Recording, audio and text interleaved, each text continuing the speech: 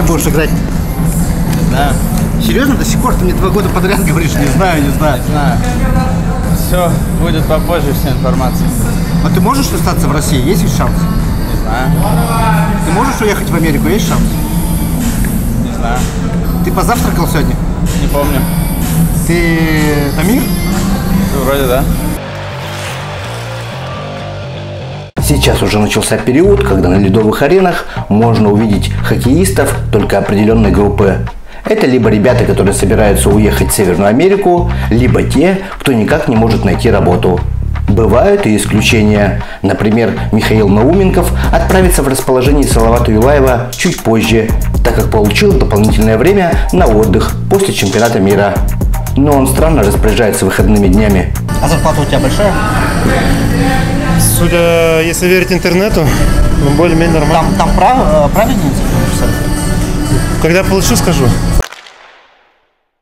Работают парни на новой арене Арктика, которая находится где-то под Солнцево. Мне из Балашихи пришлось ехать два с половиной часа, а, например, Дмитрию Орлову из Новогорска 50 минут. Новенькая арена, у руководства которой огромные планы. Один из владельцев спортивного сооружения, нападающий «Динамо» Михаил Фисенко. Привет, добро пожаловать. Ты что раньше не заезжал в гости? Потому что я только сегодня приехал. Все профессионалы тренируются. Все твои любимые игроки. Бизнес это пока условный. На арене даже растопили две из четырех площадок, пока нет полной загруженности. Но согласитесь, что лучше вложить деньги в такое полезное дело, чем, например, пропить. Ну, у нас с августа уже загрузка пойдет. Мы остальные два льда будем заливать с августа, и потому что эти две поляны уже будут расписаны в августе. Поэтому приходится, ну, придется остальные две заливать уже. То есть сейчас ты не заинтересован в зарплате в Динамо, у тебя такой доход пассивный. Я сегодня яичницу купил за 570 рублей. За сколько? 570. Не может быть, чтобы он так стоил. С кофе. А, вместе с кофе, да, может быть. Ну, это нормальный завтрак. Где же вкусно? Впрочем, нападающий столичного клуба будет только контролировать, но не управлять ареной напрямую. А может быть такое, что вот второй период э, матча там важного в чемпионате КХЛ? Нет, конечно. Но тебе звонят, говорят, Нет, конечно. здесь вода, и ты убегаешь. Нет, нет, сто процентов такого не Тебе будет. говорят, Миша, ну драку, «Пару секунду, у меня э, проблемы. Не, не, не, не, нет. Основная, основная работа это, конечно, работа это в Динамо. Два человека из группы без контрактов. У Дамира Жафярова есть сразу шесть вариантов продолжения карьеры в Национальной хоккейной лиге. Но до драфта расширения новостей о новом соглашении не будет, а уж потом все варианты начнут обсуждать по полной программе. Главное, что Жафяров уже принял для себя решение. Права на него в России принадлежат торпедо. Есть предложение из Нижнего Новгорода, но Английский я знаю на достаточно неплохом уровне, чтобы понять и что-то объяснить. А попробовать с нуля, это, наверное, ну, я так, наверное, привык с детства в каких-то моментах не привык, э, как сказать-то, в зоне комфорта находиться. Всегда хочется что-то попробовать новое, чтобы потом, наверное, себя не винить за то, что попробовал ты или нет. Поэтому я принял решение попробовать, получится, не получится, уже видно. Уверен, что дело не в деньгах при переговорах. Что для тебя ключевым является? Место в топ-6, тренер, э, расположение э, команды. Да, на самом деле много чего, но я думаю, от меня каких-то там супер условий нету. Вот, все в основном идет от команд. Поэтому так только если какие-то мелочи. Главное, чтобы для семьи было комфортно переезды, там, жизнь вообще вся в целом. Поэтому я отталкиваюсь больше, наверное, от семейных ценностей. А важно ли то, что были русские в команде? А, Я думаю, не супер важно, но, конечно, если кто-то есть из русских, это намного легче адаптация проходит. А ты понимаешь, в чем тебе будут серьезные сложности? Ты просто хоккеист ну, европейского плана, российского. А, Да, конечно, понимаю. Я знаю, понимаю свою игру, я понимаю, как я могу играть. Я играл, в принципе, при таких тренерах, которые требуют такой жесткой игры, больше не игровой. Я, в принципе, достаточно неплохо выполнял свою работу. Ну, жертвовал, конечно, какими-то очками, там, голами, еще чем-то, но я вполне нормально выполнял эту работу. И, в принципе, если мне надо будет, я могу перестроиться. Но опять же повторю, что никто не знает, как у кого все сложится. Я рассчитываю на лучшее там. то есть примеры, условно говоря, Шипачева, Барабанова, Гусева, хоккеистов твоего плана, а, ну, ты не, не берешь в расчет, у каждого своя жизнь, да? Да, у каждого, конечно, у каждого свои шансы, своя жизнь, своя игра, у кого как пойдет. Я думаю, множество игроков, кто уезжает обратно оттуда, не полностью это зависит от игры, наверное, от их, там много нюансов, факторов, сама жизнь, сам переезд, семейные, конечно же, ценности у кого-то они бывают перевешивают, поэтому тут мы не знаем, что будет дальше. Владимир Ткачев – игрок Лос-Анджелеса, а Максим Шалунов пока без контракта.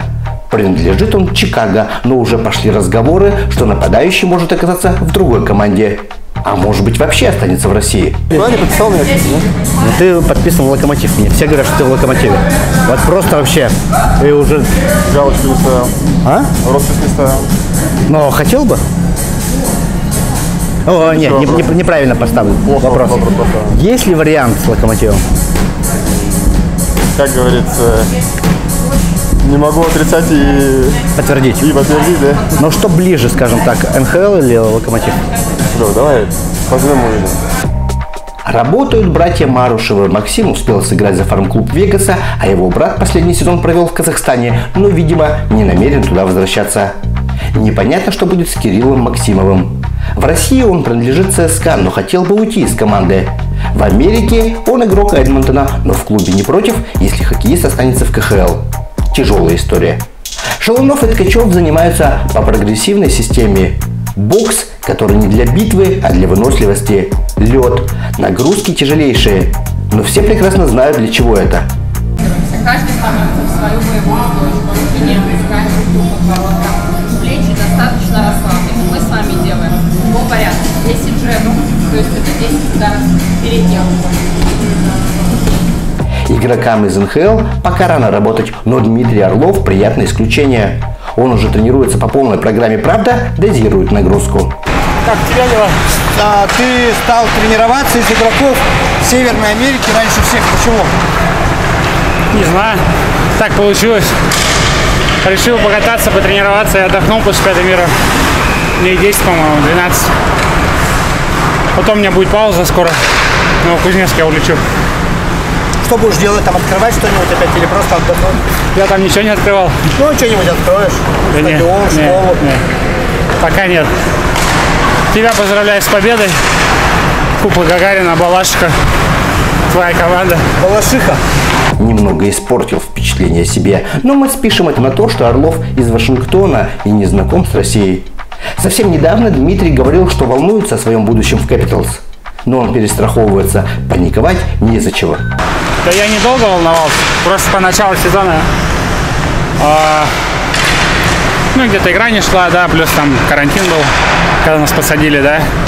Выходить было тяжело, потому что все равно ребята форму набирали, а ты, получается, без льда во время сезона 10 дней большой срок.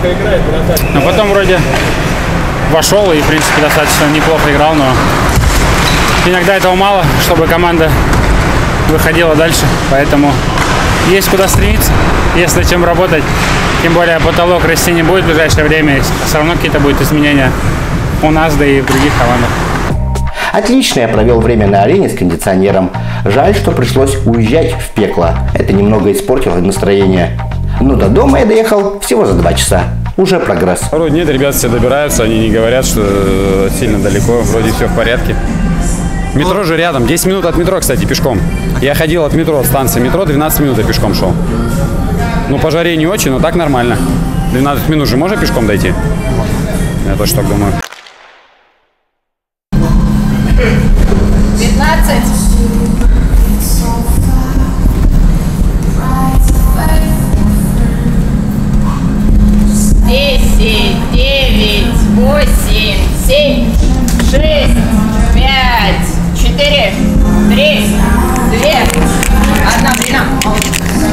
Кто победил?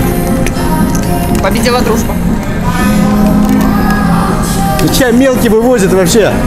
Просто тебя гонял он по стадиону. Но ты в порядке, конечно. Но слабенький. Понемножку, понемножку. Вы давайте это, пол- полное касание, полное касание. Давайте полный фул. Мне кажется, у вас одинаковая весовая примерно. Ты сколько Я весишь? поснимаем. А ты сколько весишь? Нет. 78. О!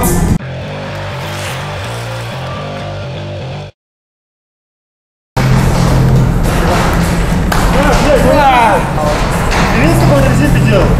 Ах ты, блядь, какой он Обманщик, обманщик. Ты видел? Он прям собрался с красной Не в резинке делал. Вот с этой надо делать. с Оранжевый это мы. С оранжевым надо делать. Это только цвет другой. Что скажешь свое оправдание? Он говорит, цвет только другой. Я и так в порядке. Ты вот в Америке скажешь, что это цвет другой, тебя сразу посадят за это. Посмотрим.